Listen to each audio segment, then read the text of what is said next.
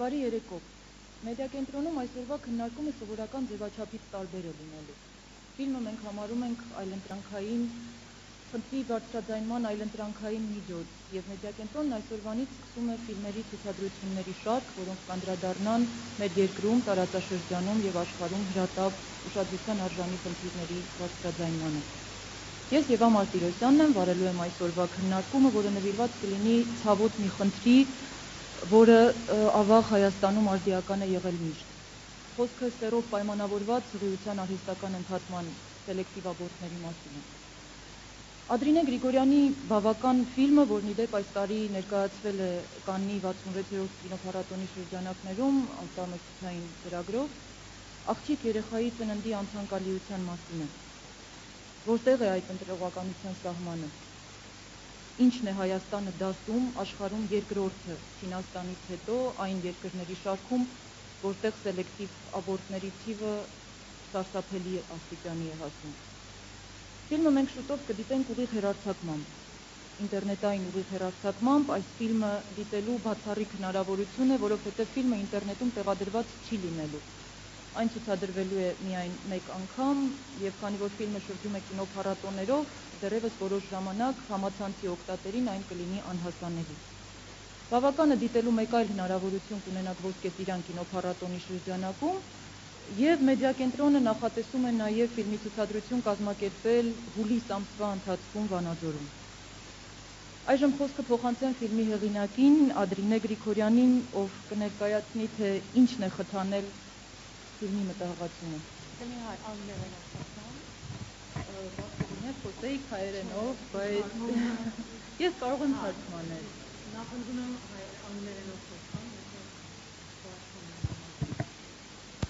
Um, uh, the okay, it's very loud. Okay, this issue uh, was brought to my attention in 2007. Um, pertaining to women and abortion um, as to why the the abortion rate in Armenia is so high. Այս խնդիրը ուշադրությունս գրավեց 2007-ին, երբ սկսեցի մտածել այն բանի շուրջ, թե ինչու է հղիության արհեստական ընդհատման թիվը Հայաստանում այդքան բարձր։ Um, we wanted to tell this story not as a reportage, but um, using the voices of the women telling their real life stories about the issues they face. մենք ուզում էինք այս խնդրի մասին բարձրաձայնել ոչ որպես ռեպորտաժ, այլ իրական պատմությունների միջոցով, կանանց իրական պատմությունների միջոցով, որոնք կարողանան պատմել այն ամենը, ինչի միջով իրենք ստիպված են եղել անցնել։ Իրանք ձայնով մի խոսքով։ Um, as we started researching this issue with Sosa Women's NGO in Goris, we found a lot of range of problems women face. But it was in 2010, 2009, when we were alarmed by the gender selection abortion figures by an Economist article. It's March 2010. Երբ Սոսե հասարակորիսի Սոսե հասարակական կազմակերպության հետ սկսեցինք ուսումնասիրել այս խնդիրը, մի շարք խնդիրների բախվեցինք, որոնց կանայք առնչվում են որոնք աղերսներ ունեն հղիության արհեստական ընդհատման հետ, բայց 2010-ին էր, երբ մեր ուշադրությունը սևեռվեց հենց սելեկտիվ աբորտի խնդրի եւ Հայաստանում դրա արդիականության վրա։ And to us, we shifted the focus of the film towards gender selection abortion because it became more than just an issue about women. It became more about abor- It became more than just an abortion film. Um, it was focusing on an issue that concerns everyone in Armenia. Եվ մեր ուշադրությունը դելեգացվեց դեպի մասնավորեցվեց դեպի սելեկտիվ աբորտներ, որովհետև դա ավելին է, քան ուղակի կնոջ խնդիր, ավելին է, քան պարզապես աբորտի խնդիր, դա խնդիր է, որը առնչվում է մեզ բոլորիս, որ ապրում ենք Հայաստանում։ And I'm very happy to say that Parallel to this film, there's been a nationwide reaction to this issue in Armenia with different NGOs who have launched their own various education campaigns to try to combat this issue. Ֆիլմի նկարահանմանը զուգահեռ մենք համագործակցություն սկսեցինք Հայաստանում գործող տարբեր հասարակական կազմակերպությունների հետ, որոնք իրենց կրթական քարոզարշավները սկսեցին բարձրաձայնող այս խնդրի մասին։ And the whole motivation is that this is a story of women told by women for an, um, in order to use their voices to, to create some sort of change in Armenia. Ա, Ֆիլմում ներկայացված են ա, պատմություններ, ա, կնոջ պատմություններ կանանց ձայներով ա, եւ մենք ակնկալում ենք, որ այս պատմությունները խթան կդառնան Հայաստանում փոփոխության այս խնդրին առնչվող։ And the last thing I'd like to say, and I see many women in this room, many people in this room that participated, not just OSI, the members of OSI, who I'm very grateful for. It's because of them that this film was able to be made, but Tigin Kharatyan and Bagrat Sarpazan, who um, also participated, which was beyond my imagination, in um, which you will see in this film, offering solutions to this problem. Այստեղ դահլիճում այժմ ներկա են ը, շատ մարդիկ, ովքեր աջակցել են ֆիլմի նկարահանմանը եւ մասնակցել են ֆիլմի նկարահանմանը ը, իրենց տեսակետը ֆիլմում արտահայտելով եւ այդպիսով նպաստելով խնդրի բարձրաձայնմանը եւ դրա լուծմանը։ Եվ շնորհակալ եմ այդ համար։ Այդքան Շնորհակալություն Ադրինե։ Ը, Հիմա դիտենք ֆիլմը, որից հետո կխնդրենք դահլիճում ներկա մեր փորձագետներին հայտնել իրենց դիրքորոշումը խնդրի հանդեպ։ Այսօր մեդիա կենտրոնում հղիության արհեստական ընդհատման սելեկտիվ աբորտի մասին իրենց դիրքորոշումը կհայտնեն։ Ազգագրագետ Թրանուշ Խարատյանը, Կանադայի հայ առաքելական եկեղեցու թեմի առաջնորդ Բաքրատ Սրբազյան Սրբազան Գալստանյանը, Հայաստանի Հանրապետության առողջապահության նախարարության մայրական եւ վերարտադրողական առողջության պահպանման բաժնի պետ Գայանե Ավակյանը, Թիվ 3 բժշկական կլինիկայի էնդոսկոպիկ եւ վերականգնողական գինեկոլոգիայի բաժանմունքի ղեկավար Բագրատ Մկրտչյանը, հոգեբան Միհրդադ Մադաթյանը, Թեհրանի համասարանի անթրոպոլոգիայի ամբիոնի վարիչ Էմիլիա Ներսիսյանը, Ուտոպիանայի ՀԿ ներկայացուցիչ ռեժիսոր Դավիթ Ստեփանյանը եւ Save the Children փրկենք երեխաներին հասարակական կազմակերպության ծրագրերի իրականացման գծով ղեկավար եւ առողջապահության ոլորտի մասնագետ Իրեն Սարգսյանը։ մեզ դիտող ինտերնետային օգտատերերին հիշեցնեմ, որ սա ֆիլմը դիտելու բացառիկ հնարավորություն է։ Ֆիլմը ինտերնետում դեռևս որոշ ժամանակ տեղադրված չի լինելու, քանի որ շրջում է փառատոներով, սակայն դուք ունեք հնարավորություն այն դիտելու այժմ եւ հիմա եւ հետո միանալ մեզ մեդիա կենտրոնում եւ լսել թե ինչ են ասում մեր փորձագետները։ Մերսի։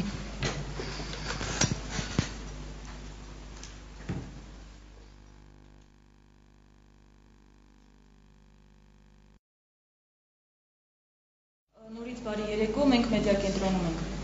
Հիշեցնեմ, որ մեզ հիշեցնեմ եւ մեզ հենց նոր միացած ինտերնետ օգտատերերին տեղեկացնեմ, որ մենք դիտում էինք ուղիղ հերարցակմամբ բավական վավերագրական կինոնկարը, որն անդրադառնում էր Հայաստանում շատ ցավոտ սելեկտիվ աբորտների հղիության արհեստական ընդհատման սերի հատկանիշով պայմանավորված խնդրին։ Այժմ մենք ը, մեդիակենտրոնում պատրաստվում ենք քննարկել այս խնդիրը, հրավիրել ենք փորձագետներ, ովքեր իրենց դիրքորոշումը կհայտնեն խնդրի վերաբերյալ տարբեր տեսանկյուններից։ Հիշեցնեմ, թե ովքեր են մեդիակենտրոնի մեր այսօրվա փորձագետները։ Ազգագրագետ Հրանուշ Խարատյանն է այսօր մեզ մոտ Հայաստանի Հանրապետության առողջապահության նախարարության մայրական եւ վերարտադրողական առողջության պահպանման բաժնի պետ Գայանե Ավակյանը, հոգեբան Միհրդադ Մադաթյանը, Թեհրանի համալսարանի անթրոպոլոգիայի ամբիոնի վարիչ Էմիլիա Ներսիսյանը եւ Կանադայի հայ առաքելական եկեղեցու թեմի առաջնորդ Բաքրատ Սրբազա- Սրբազան Գալստանյանը։ Մենք նաեւ հրավիրել էինք հյուրեր Ուտոպիանա եւ Save the Children հասարակական կազմակերպություններից, ովքեր ցավոք չկարողացան գալ եւ բժիշկ գինեկոլոգը Բաքրատ Մկրտչյանը շտաբ պետք է մեկներ հիվանդանոց եւ նույնպես չկարողացավ ներ- ներկա գտնվել։ Առաջին հարցս կուզեի ուղղել ձեզ Տիկին Խարատյան, խնդրում եմ կմոտենաք։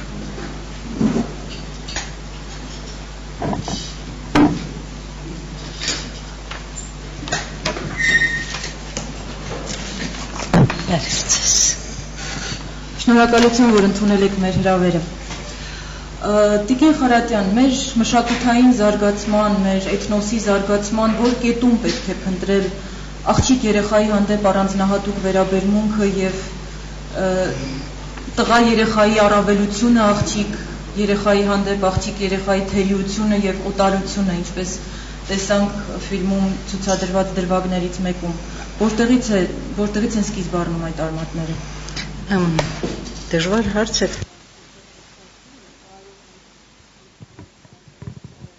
Ժամանակաշրջան հստակեցնել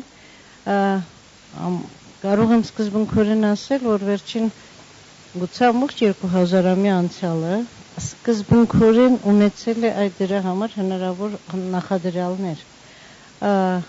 թե մեր պատմության ընթացքը, թե մեր հասարակության ներքին մշակութային զարգացումների ընթացքը չասեմ, որ մենք մասնավոր դեպք ենք, ընդհանրապես ամբողջ աշխարհում կա որ այստեղ? Որ հասարակությունները ավելի տղամարդկային արժեքների հասարակություններ են Հայաստանը շատ չի մասնավոր ամբողջ աշխարհում եւ նույնիսկ եթե կուզեք այս պահին մշակութային առաջադեմ համարվող տարածքներում են սկզբունքորեն տղամարդկային ճաշակը կյանքի հանդեպ եւ տղամարդային արժեքները գերակա են բայց այնտեղ որտեղ գոնե հասարակական նորմերը իսկ առավել եւս պետական օրենքները դադարում են պատշաճ մակարդակով գործել, այնտեղ կնոջ վիճակը շատ ավելի խոցելի է դառնում։ Ես կարծում եմ, որ մենք հիմա այդպիսի փուլերից մեկում ենք։ Ես կարծում եմ, որ մենք մի շրջանում ենք ապրում, երբ ծնողները այ ֆիլմում տարբեր տեսակետներ շատ հնչեցին եւ ես համաձայն եմ դրանց հետ, բայց կարծում եմ, որ ծնողները հաճախ իրենց երեխայի ապագայի համար ընտրություն անելիս ուզում են նվազեցնել իրենց ապագա ժառանգի հանդեպ բռնության հնարավորությունը։ Դա տղա երեխաների հանդեպ պակաս է, եթե նույնիսկ հաշվի առնենք, որ տղան ծանր իրավիճակներ, պատերազմ, սրանք նույնպես բռնության ձևեր են հասարակական նորմերը տղամարդուն արդեն իսկ վերագրում են այդ իրավիճակներում լինել, եթե իրավիճակը կա կնոջը ոչ, բայց կնոջ ամբողջ կյանք դրանք ընդհանրապես նորմայից շեղումներ են։ Կնոջ ամբողջ կյանքը մեր հասարակական արժեքների մեջ զգալի չափով ոչ միայն ստորադասված է, այլ նաև բռնության ենթակա է։ Եվ վերջին շրջանի մեր կյանքն էլ վկայեց, որ կարծեք թե բարդ իրավիճակում կանանց վրա է դրված մի տեսակ գուցե մայր լինելու բերումով, բայց մի տեսակ կանանց վրա է դրված պարտականություն ծայրահեղ իրավիճակներից լուծումներ գտնելու։ Ես կարծում եմ, որ ծնողների մի զգալի մասը անկախ նույնիսկ որ ինքը դա բարձրաձայնում է կամ ընկալում է եւ ձևակերպում է բայց ընտրություն կատարում է իր զավակի համար դժվար դժվար կյանքը նվազեցնելու այդ պատճառով պակաս դժվար է թվում տղայի կյանքը եւ կարծում եմ սա աղջիկ երեխաների դեմ գրող չի Եվ իհարկե, եւ իհարկե կա մյուս խնդիրը, որ շատ ժողովուրդների նման մենք նույնպես ոչ միայն པարզ ընտանիքի արժեքները որպես կապիտալ փոխանցելը տղաներին ենք վերապահում եւ անում ենք, հաշվի առեք Հայաստանում սեփականության տերը եւ նույնիսկ հողի տերը, հիմնականում տղամարդիկ են հողը, որ պետությունն է բաժանել ըստ շնչի հողը որպես օժը չի տրվում, հողը աղջիկներին փայ չի տրվում, սովորութային իրավունքի նորմերով ոչ իրավական։ Եվ աղջիկներն էլ երբեք չեն գնա դատարան, ծնողից չեն պահանջի իրենց բաժին հողը։ Այսպիսով սովորութային իրավունքի նորմը լրացնում է աղջիկների համար ինքնուրույն լուծումներ փնտրելու դժվարությունը այն միշտ պայմանավորելով ամուսնու տղայի ծնողի հետ եւ սրանք նույնպես ծնողին թելադրում են իրենց ապագա որևէ երեխայի համար նվազեցնել, իսկ քանի որ բարդությունը ավելի կանանց վրա է նվազեցնել կանանց թիվը նվազեցնելով նվազեցնել բարդությունները։ Ցավալի երևույթ է, բայց ես կարծում եմ, որ անպայմանավորված է զգալի չափով մեր կյանքի ներկա իրողություններով նույնպես։ Շնորհակալ եմ Տիկին Խորատյան, ծավալուն ընդգրկուն պատասխանի համար։ Ես գնում եմ, թե մնում եմ այստեղ։ Դուք դուք դուք մնացեք նստած, որովհետև քննարկումը նոր ենք սկսել։ Տիկին Ավակյան կուզենայի ձեզ հravirել, մեզ հիմա միանում է առողջապահության նախարարության ներկայացուցիչը, որին ուզում եմ ուղղել մի հարց, որը անուղակիորեն է վերաբերում սելեկտիվ աբորտներին։ Տիկին Ավակյան ֆիլմում բացի սելեկտիվ աբորտի խնդրից մենք տեսանք մի դրվագ, որը առնչվում է արդեն ապօրինի գործողությունների դաշտին։ Այսինքն մենք գիտենք, որ Հայաստանի Հանրապետության օրենքով հղիության արհեստական ընդհատումը թույլատրված է երեխայի 12 շաբաթական ժամկետից ոչ ուշ, սակայն թե ֆիլմում ցուցադրված դրվագի հիման վրա, թե մեր բոլորի անձնական փորձի, ծանոթներից լսած իրողությունների հիման վրա մենք կարող ենք ասել, որ շատ են այն դեպքերը, երբ բժիշկ գինեկոլոգները տրվելով գուցե կողմնակի գումար վաստակելու գայթակղությանը եւ դեմ գնալով բարոյական չափանիշների դիմում են խախտում են օրենքը եւ դիմում են այդ քայլին անում են ապօրինի ը, հղիության արհեստական ընդհատում եւ անգամ շատ դեպքերում անտեղյակ են այն ընտանիքները, ովքեր որ դիմում են բժշկին, նրանից, որ դա ապօրինի քայլ է, անտեղյակ են, որ դառնում են ապօրինի գործողության մասնակից։ Սա գործողություն է, որը պետք է վերահսկվի օրենքով, ինչպես է դա վերահսկվում մասնավորապես առողջապահության նախարարության կողմից եւ եթե այդ վերահսկողությունը կա, ինչու ենք մենք առնչվում այդ երևույթին։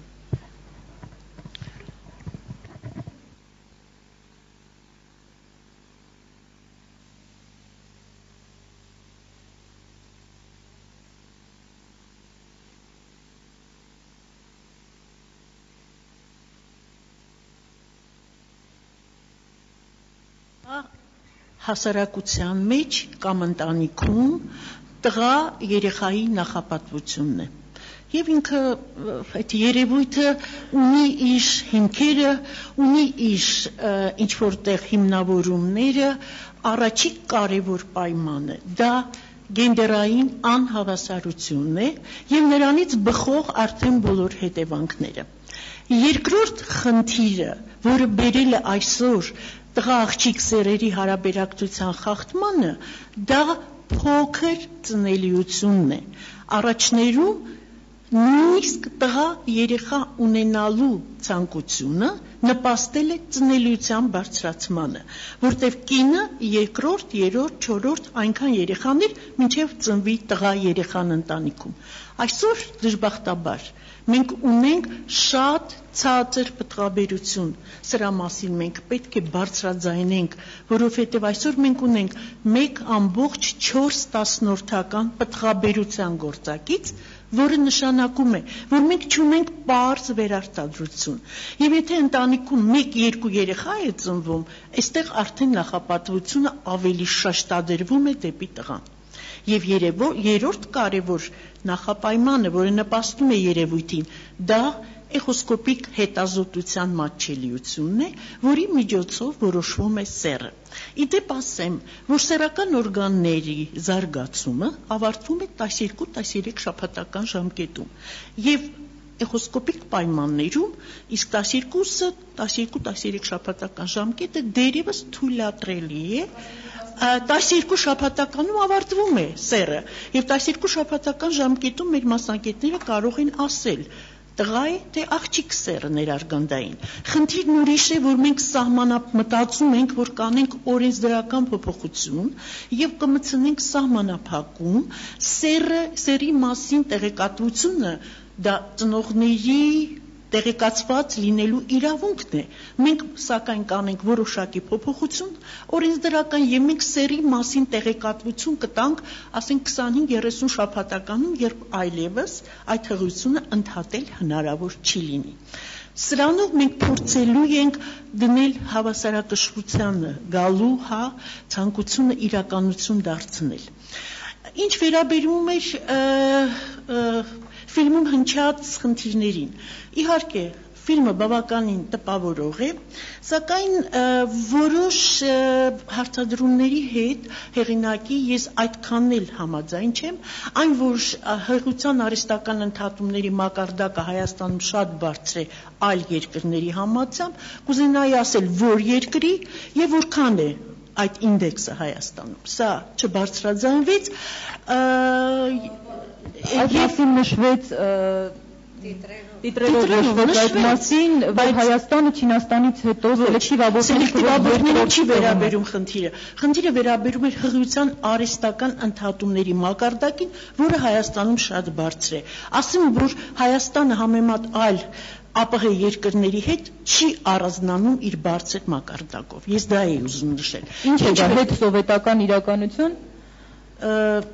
Մենք ունենք վիճակագրական տվյալներ 1000 կնոջն ընկնող աբորտների թիվ Սա վիճակագրություն է, եւ ունենք պաշտոնական վիճակագրություն, եւ ունենք ալտերնատիվ վիճակագրություն։ Իդեպ ասեմ, որ 2000, 2005, 2010 թվականներին կատարված առողջապահական ժողովրդագրական հետազոտության տվյալներով աբորտների թիվը արհեստական Հայաստանում մեկ կնող, մեկ կնոջն ընկող նվազել է 2-ից 6 անգամ։ Սա մենք չենք ասում, պաշտոնականը չի, որ լինի խեղաթյուրված։ Սա ալտերնատիվ հետազոտության արդյունք է։ Ընդհանուր թվի Գիտեք, հարցվածների շրջանում երկու անգամ էլ, երեք անգամ էլ արվել է ներկայացուցչական Բանը հետազոտություն։ այն է, որ կա- կանանց ինքը մեծ անպտղաբերություն, անպտղելիություն կա, որ կանանց ընդհանուր թվի բան է, Չէ, գիտեք, ա, ե- ե- 2000, 2005 եւ 10 թվական նույն մեթոդաբան- մեթոդաբանությունն է կիրառվել։ Հետևաբար տվյալները համեմատելի են։ Կատարվել է ներկայացուցչական հետազոտություն 5000-ից ավել վերարտադրողական տարիքի կանանց շրջանում։ Սա, որ Հայաստանում արհեստական հղիության մակարդակի բարձրացումը այն թիվը չի, որ մենք դրա համար շատ մտահոգվենք։ Մտահոգիչը իսկապես սելեկտիվ աբորտները։ Մենք դա ընդունում ենք եւ իդեպ ասեմ Հայաստանը տարածաշրջանի առաջ երկիրն է, որը նախա, նախ առողջապահության նախարարություն նախաձեռնեց դիմեց ՄԱԿ-ի բնակչության հիմնադրամին, կազմակերպեց հետազոտություն, մենք հայտնաբերեցինք փաստորեն պատճառները, որոնք են այդ պատճառները եւ տեսեք արդեն մտածում ենք ինչ անել, որպեսզի հնարավոր լինի ինչ որ ձևով փոխել եւ ը, հավասարակշռության բերել, բայց ամենակարևոր գործոնը եղել եւ մնում է, սա ոչ միայն իմ կարծիքն է, այլ Հայաստան ժամանած եւ հետազոտությունը մեկնաբանած ամենախոշոր գիտնականներից մեկի կարծիքը ամենակարևոր խթանը դա ծնելիության բարձրացումն է։ Եթե ընտանիքում լինեն 3 եւ ավելի երեխաներ, սերը սերի որոշումը եւ այդպես աղջիկներին, հա, վերացնել, այսպես ասենք, չի դառնա այսպես օրհասական։ Ինչ վերաբերում է ֆիլմում հնչած ը, դեպքին։ Այնտեղ կինն ասում է 4 ամսեկան, մի քիչ դժվար է ասել այդ 4 ամսեկանի տակ ինչ է հասկացվում, բայց երբ ասից նշվեց, որ հղիության արհեստական ընդհատման համար վճարել է 25000 դրամ, իսկ դա մեր սովորական հղիության արհեստական գումարն է։ Եթե լիներ 4 ամսական եւ այլն, երբեք չէր կարող այդ թիվը լիներ 25000։ Դա ինձ թույլ է տալիս մտածել, որ այնտեղ 12, գուցե 13, 14 շաբաթականին է վերաբերում ոչ 4 ամսական եւ ավելին։ Ընդունենք, որ դա մի դեպք էր, որտեղ գուցե վրիպում է եղել, բայց չէ որ դուք գիտեք, որ այդ դեպքերը բացառություններ չեն։ Դրա համար ես հողում արեցի նաև մեր անձնական փորձին, մեր անձնական տեղեկատվությանը, որ դահլիճում նստած մարդկանցից շատերը կարող են օրինակներ բերել։ Այո, ես կրկնում եմ, 12, 13, 14 շաբաթական։ Այո, խախտվում է օրենսդրությունը այս դեպքում, բայց որոշել 12 է թե 13 դա բավական բարդ խնդիր է, անգամ էխոսկոպիկ հետազոտությամբ դժվար է որոշել եւ իսկապես այդ խնդիրը կա եւ մենք ունենք տեղեկատվություն, հավաքագրում ենք վիճակագրություն ը, 12 եւ ավելի շաբաթական ժամկետներում կատարվող հղիությունների մասին եւ ուսումնասիրում ենք դրանց պատճառները։ Սովորաբար այնտեղ գրվում են պատճառներ, գուցե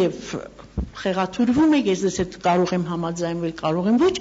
գուցե եւ խեղաթյուրվում են բժշկական փաստաթղթերը գրվում է որ կա պտղի զարգացման շեղում, կա խնդիր եւ այլն եւ այդ խնդիրներով ընդհատում են հղիությունը։ Բժշկական փաստաթղթերով եթե մենք նայենք, մենք կարող ենք այդ անօրինականությունը չհայտնաբերել, ես սա եմ ուզում ասել։ Ուղղակի մենք ավելի ճիշտ ոչ պետք է գնանք պատժելու, հանցագործներ փնտրելու եւ գտնելու ուղիով, այլ մենք պետք է փոխենք մեր վերաբերմունքը աղջիկների նկատմամբ։ Իսկ դա շատ բարդ process է։ Դա պետք է սկսվի գենդերային անհավասարության, գենդերային բռնության դեմ, հա, մեծ աշխատանքով։ Դա պետք է մեր մեծ սերունդի, հա, սկեսուրներ, սկեսրարներ իրանց վերաբերմունքի փոփոխությունը, որը դժվար է կատարել, բայց ուզում եմ ասել, որ հետազոտությունը ցույց տվեց, որ 4% դեպքերում է կատարվել հղիության արհեստական ընդհատումը մոր աղջկա կամ տղայի մոր ընդունով։ Մնացած բոլոր դեպքերում որոշումը կայացվել է ամուսնական զույգի կողմից։ Իհարկե։ Տիկին Կարինե Սարիբեկյանը Այո։ ասում էր, որ կարծեք թե սելեկցիան սկսվում է երրորդ երեխայից հետո։ Դուք այստեղ խոսում եք, որ Ես ես խոսում եմ այն մասին, որ առաջի հղիությունը Հայաստանում բարեբախտաբար, ինչպես Չինաստանում, Հնդկաստանում եւ այլը, չի ընդհատվում պայմանավորված սերով։ Սա հուսադրող է։ Երկրորդ հղիությամբ ծնված երեխաների թվականակը փոքր ինչ փոխվում է ի օգուտ տղաների։ Պրոբլեմը սրանում է երրորդից սկսած։ Հետևաբար իմ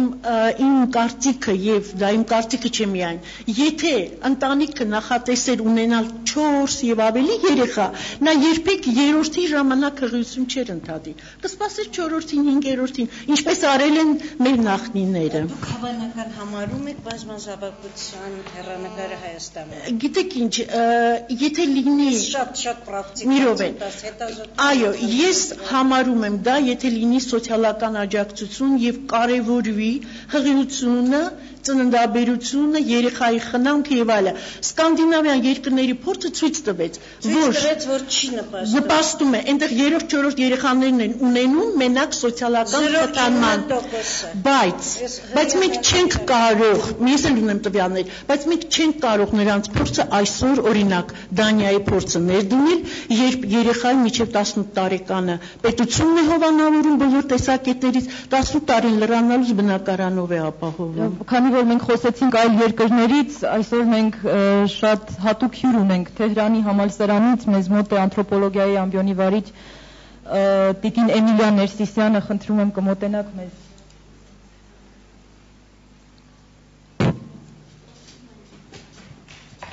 Շնորհակալություն, որ այսօր մեզ հետ եք։ Տիկին Ներսիսյան,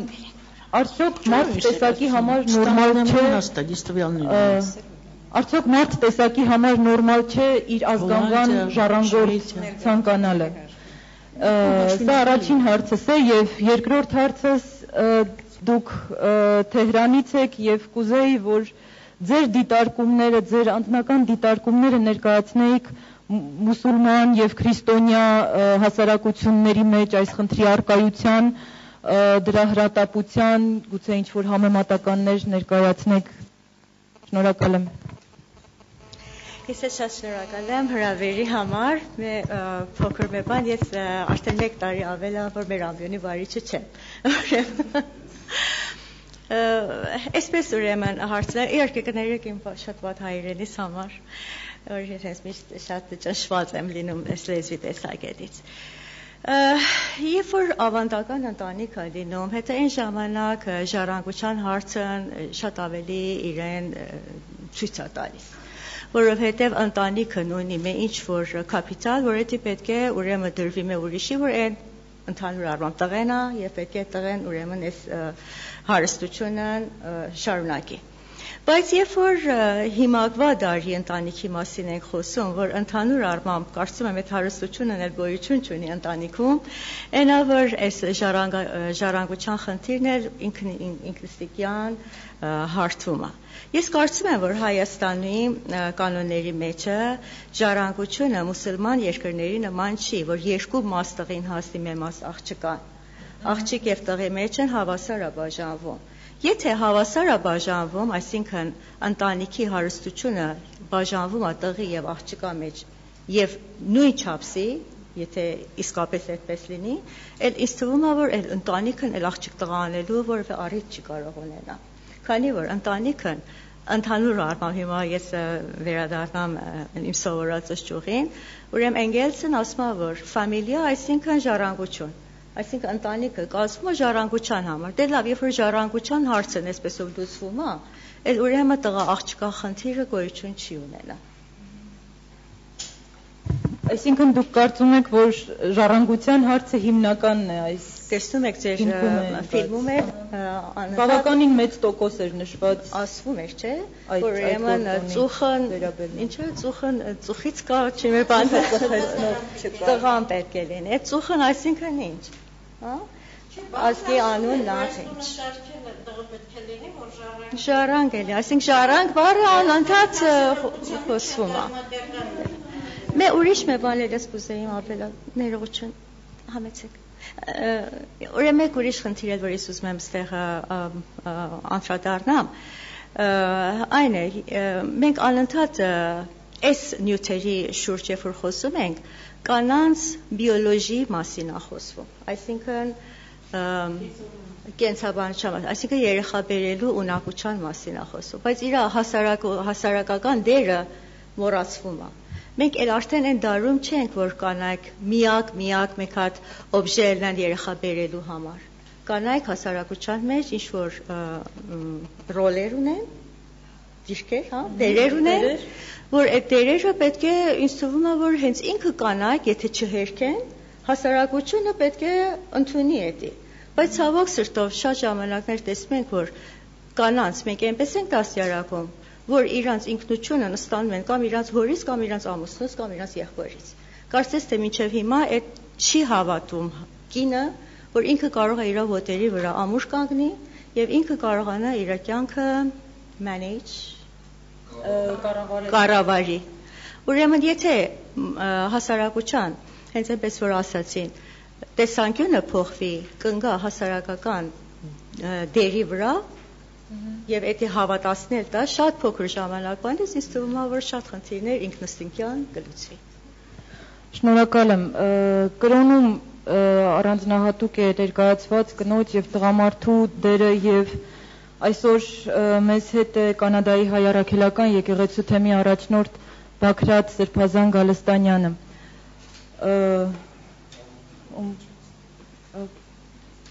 Շնորհակալ եմ Սրբազան հայր, որ մեզ հետ եք այսօր։ Սրբազան հայր, հին աշխարհի մտածողներից, գիտնականներից շատերը կասիտակ են առել անգամ կնոջ մարդ լինելը։ Եվ նաև եղել է այն վարկածը կինը հոգի ունի արդյոք թե ոչ։ Հին աշխարհից հետո էլ քրիստոնեության ընդունումից հետո անգամ խտրականություն խտրականություն որոշակի եղել է, որովհետև քրիստոնեության ընդունումից հետո անգամ որոշակիորեն կարող ենք ասել, որ կնոջ ազատությունները սահմանափակվել են, որովհետև քրիստոնեության գաղափարախոսությունը համարվում է հայրիշխանության գաղափարախոսություն։ Արդյոք եւ տղա եւ աղջիկ երեխաների միջև խտրականության այս խնդրի արմատները մասամբ կարող ենք փնտրել կրոնում կամ դրա սխալ մեկնաբանության մեջ։ Ես նախ ուզում եմ ճշտում անել տիկին Էմիլիա, չէ՞։ Էմիլիայի պես արդեն մոտ 1 ամիս է, որ իմ պատասխանատվությունը որպես Կանադայի թեմի առաջնորդ ավարտվել է, գոնե օրինական կետնով։ Օրինական կերպով, բայց ես գիտեմ, որ ձեզ Շնորհակալություն։ Երկրորդ ուզում եմ շնորհավորել ֆիլմի ստեղծողներին Ադրինեի գլխավորությամբ եւ մաղթել, որ արձագանքը ավելի ճիշտ եւ ավելի ուղիղ տեղ հասնի, ուր որ պետք է որ հասնի։ Երրորդը պիտի ասեմ, որ մինչև ձեր հարցին գալու շատ սաման կարճ կլինեմ իմ վերլուծության մեջ։ Երրորդը ուզում եմ ասել, որ պատճառը, որ ես սկսեցի այս խնդրով հետաքրքրվել շատ նորից ադրինեն եղավ մեր խոսակցությունները եւ այլն եւ եկեղեցին ինչի չի բարձրաձայնում եւ խոսում այս մասին եւ իմ համասարանական թեզը ընդհանրապես Հայաստանի առողջապահական համակարգի մասին էր Կանադայում Մոնրեալ քաղաքում եւ դրա միջից ամենակարևոր խնդիրը որ այսօր արկա է մեր երկրում իմ կարծիքով այդ բոլորի շարքին իմ կարծիքով նաև ը, պտղով պայմանավորված արհեստական ընդհատումներ։ Գալով կրոնին ես կարծում եմ, որ դուք շատ ճիշտ ճշգրտում արեցիք վերջում կնոջ եւ տղամարդու դերի եւ մեկնաբանության սխալ հասկացողություն եւ ըմբռնողությունը։ Բացարձակապես քրիստոնեության մեջ հավասարության սկզբունքն է դրված կնոջ եւ տղամարդու միջև։ Ուրիշ արած, որ ժամանակ առ ժամանակ հասարակությունները փորձել են դա այլ կերպ մեկնաբանել եւ այլ կերպ օգտագործել, որովհետեւ ժառանգություն կա մտածողության եւ այդ զարգացում կա մտածողության անընդհատ, բայց քրիստոնեության մեջ հիմնական խնդիրը հավասարությունն է, նորից եմ կրկնում, եւ մեր պսակի խորհրդի մեջ մեր աղոթներից մեկի ժամանակ շատ ընդգծված է դա, որ արու եւ եք ստեղծեց նրանց, միաժամանակ ստեղծեց նրանց։ Կինը եւ տղամարդը հավասար են քրիստոնեության բուն ուղափառ ընկալման մեջ։ Արտահայտության կերպերն են տարբեր։ Մեր արտահայտության ձևերն են տարբեր։ Կինը այլ արտահայտության կերպ ունի, տղամարդը այլ արտահայտության կերպ ունի։ Գործառույթներն են տարբեր։ Եվ քիչ առաջ ես ֆիլմի մեջ էլ նշեցի, երբ հարցադրումներ են կատարում, դրանք պատահական հարցադրումներ չեն, պաշտպանության եւ հնազանդության հարցադրումները։ Կինը պաշտպան կարող է լինել ըստ էության, բայց ընկալումը տղամարդու ուժի արտահայտության, պաշտպանողության, հոգ տանելու վերաբերյալ եւ կնոջ հնազանդության բացարձակ սիրո մասին է,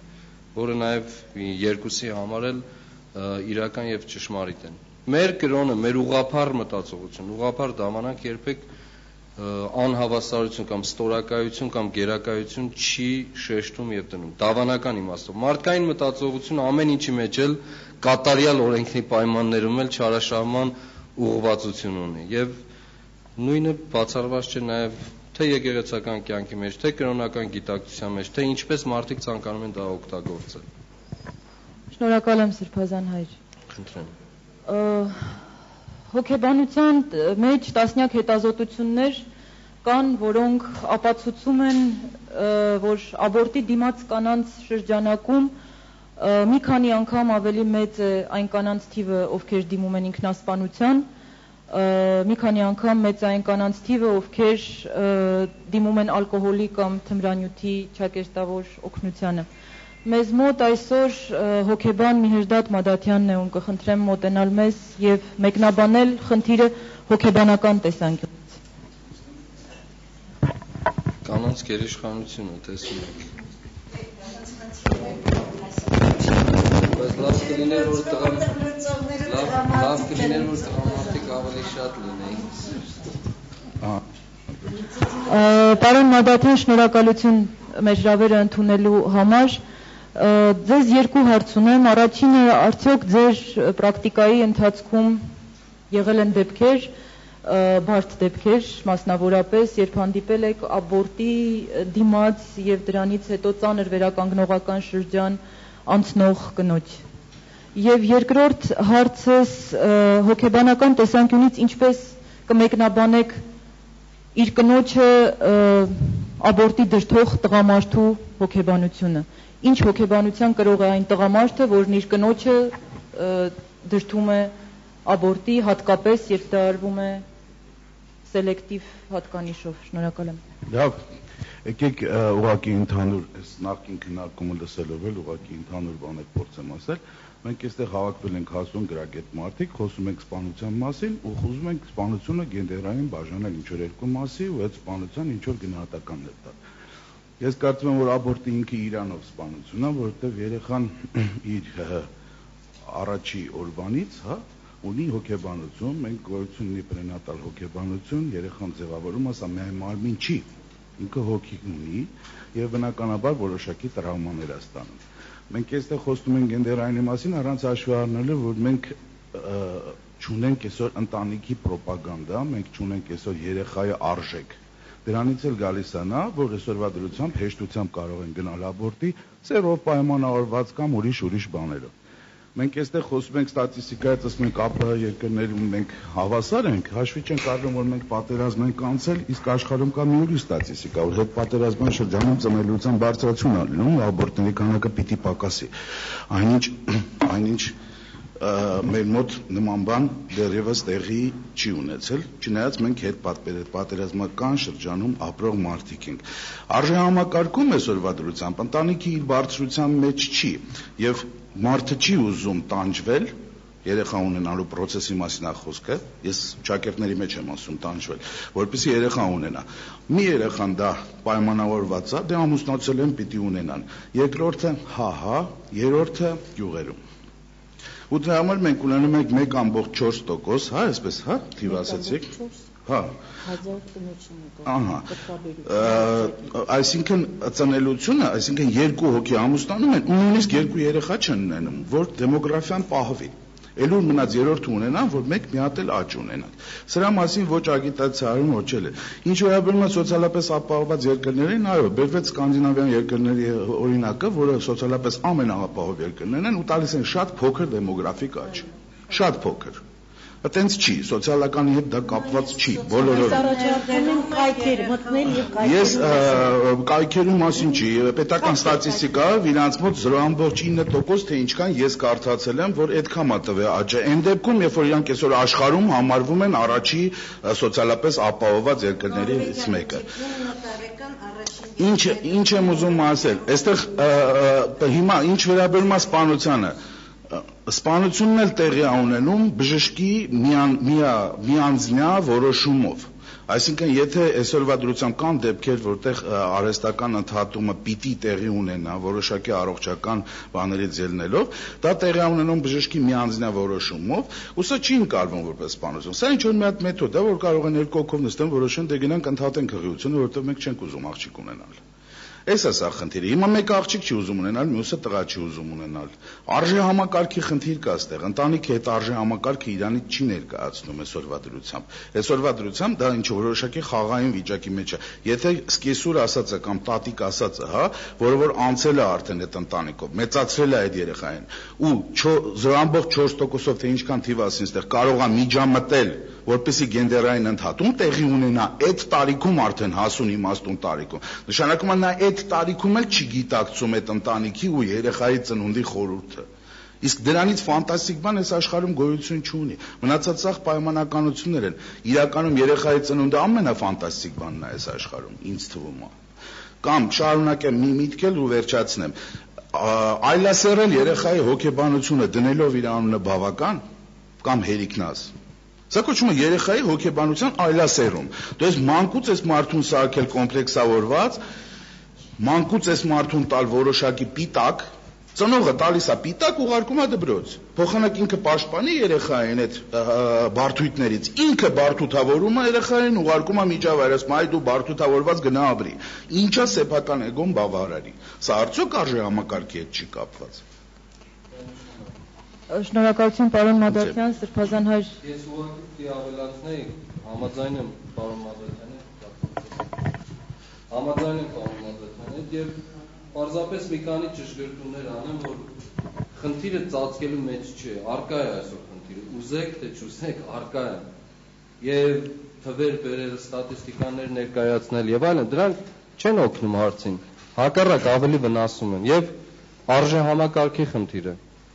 Երկրորդ ուզում եմ ավելացնել, եթե ստատիստիկներով պիտի խոսենք, Եվրոպ Եվրոպայի խորհրդարանը 2011 թվին հստակ օրենսդրություն է անցկացրել, նշելով Հայաստանը, Վրաստանը, Ադրբեջանը եւ Ալբանիան վտանգավոր երկրների թվում։ Սա մենք չենք հնարել։ Աշխարհում 3-4 փոքր պետությունների շարքին այն մեծ պետություններ եւ սրանք եւ Հայաստանը հստակ կերպով երկրորդն է։ Երրորդը ուզում եմ ասել, որ Համակարգային է նաև հարցը, մտածողության հարցը, որովհետև բժշկի վերաբերմունք իր հիվանդի նկատմամբ մատների արանքով նայվելով չպիտի լինի, սա արժանապատվության հարց էլ կա։ Եվ չորրորդ խնդիրը, երբ հարցը իսկապես դրված է սեղանի եւ դրա լուծումներն են առաջարկված։ Իսկ գալով ապահովված երկրներին, ես գալիս եմ Կանադայից, Քեբեկ նահանգից, որտեղ կարծեմ սոցիալական ապահովության մասին ոչ մի խնդիր չկա, հակառակ ընտանիքները քաջալերվում են, որ զավակներ ունենան, մշակույթն էլ պաշտպանեն իրենց, բայց ծնելիության մակարդակը սարսափելի է ուղղակի։ Այդ շարունակեմ ձեր միտքը, դուք ասում եք Չինաստանից հետո։ Իսկ ինչու Չինաստանից հետո։ Որտեվ Չինաստանը ամենամեծաթիվ երկիրն է, որտեղ ծնելիությունը ոչ թե խրախուսում է, այլ կանխվում է։ Այսինքն արժեքը այդ ծնելիության այնքան է գցած, հա? Հա, То есть արժեքը այնքան է գցած, որ այնտեղ արհեստական ընդհատումը դա հələ խրախուսվող փաստա մի բան է։ Ու երկրորդ տեղում մենք ենք կանգնած այս այս հարցում, հա, որտեղ նույնպես արժեքը այսօրվա դրությամբ գոյություն չունի։ Սա պետական միջամտություն է ինձ թվում է պահանջում ու լրիվ ուրիշ որակների մեջ։ Տիկին Ավակյան, ինչ դուք կսկսեք ձեր խոսքը հարցս նույնպես ձեզ է ուղված։ Դուք նշեցիք, որ առողջապահության նախարարությունում արդեն մշակվում են որոշակի ծրագրեր, ուղված նրան, որ չխախտելով ծնողների երեխայի սեռը իմանալու իրավունքը, այնուամենայնիվ դա արվի այնպիսի ժամկետում, որ เป զի անվտանգ լինի երեխայի կյանքի համար Տեղափոխելով տեսլականը իրատեսական դաշտ, երբ ակնկալ, երբ ակնկալենք այդ փոփոխությունները որպես օրենք։ Մշակման գործընթացում, օրենսդրական ակտի մշակում ընդունումը բավականին process է եւ մենք արդեն սկսել ենք այդ process-ը առաջիկայում հույս ունենք որ այն կընդունվի Ինչ վերաբերվում է, սրանով մենք կփորձենք առողջապահության մասնակցությունը, որpիսի այդ դիսբալանսը ինչ որ չափով մեղմենք, բայց կարծում եմ, որ մենք բոլորս այստեղ հավաքված ոչ թե պետք է միմյանց մեղադրենք, այլ պետք է փորձենք փոխել մարդկանց վարքագիծը, արժեքավորենք գենդերին, արժեքավորենք նաև աղջիկ երեխային, ցույց տալով ինչու՞ չէ շատ գֆիլմեր, որ ծնողների խնամքը, ծնողների օգնությունը ոչ միայն տղաների վրա է, այսօր ավելի շատ աղջիկներն են հոգ տանում։ Եկեք դրա մասին խոսենք։ Եկեք թող եկեղեցի խոսի, որ աբորտ անելը մեղք է։ Եկեք աբորտ մի անեք, կանայք ծննդաբերեք, մենք միայն կողջունենք եկեղեցու այս քարոզչությունը։ Շնորհակալություն Տիկին Ավակյան մեր մեր ժամանակը Թույլ կտեք ես մի բան ավել, ասում թե ժամանակը հա խնդրում եմ եթե համար համառոտ ահա շատ կարճ ասեմ ստատիստիկայի ներույթ ստատիստիկան բանը շատ լավ բաներ են, բայց մարդիկ ապրում են բոլորովին ուրիշ դարաշրջան։ Այն շրջանը չի, երբ որ մարդը կարող էր դատել իր նեղ համայնքի կառուցվածքով եւ հարաբերություններով։ Մարդիկ ապրում են երկրներում, լավ իրազեկ են, գրագետ են եւ շատ լավ հասկանում են իրենց երեխաներին իրականում սպասվող կոնկրետ կոնկրետ իրավիճակը, փաստացի վիճակը։ Քարոշչության ձևեր էլ կա, էլի, բայց ես հենց նորից ուզում եմ հստակ ասել, որ ребята, давайте жить дружно, աղջիկ երեխեքը լավ բան են, մենք հասարակությունը պետք է հավասար պահենք, ծնողը առաջին հերթին պիտի կողմնորոշվի ինչ է սպասում իր երեխային։ Իսկ սա կարող է լինել միայն, երբ որ թղթի վրա գրված բարձրաձայնումը գենդերի հավասարություն, կանանց իրավունքների արժանապատվության, ընտանիքը որպես ինստիտուտ կարևորելու, եթե սրանք իսկապես դառնան գործոններ թղթի վրա գրելով մենք մենակ վնասելու ենք։ Ակնհայտ է, որ մենք արդեն ոչ թե པարս բնակչության նվազումն ենք, ունենք դեպոպուլյացիա։ Հայաստանը արդեն ոչ թե པարզ նվազող բնակչության երկրների շարքում է, այլև ընդհանրապես ժողովրդագրական կառուցվածքի խայտարակ դեֆորմացվող եւ տարիքային խմբերի եւ սեռերի հավասարակշռության եւ մնացած բոլոր ցուցանիշների։ Այսինքն մենք պետք է պատասխանատվություն զգանք որպես երկիր եւ որպես հասարակություն մեր հայտարարությունների եւ թղթերի վրա գրվող մեր ծրագրերի ու խնդիրների նկատմամբ։ Շնորհակալ եմ Տիկին Խարատյան, շնորհակալ եմ մեր բոլոր հյուրերին, ովքեր այսօր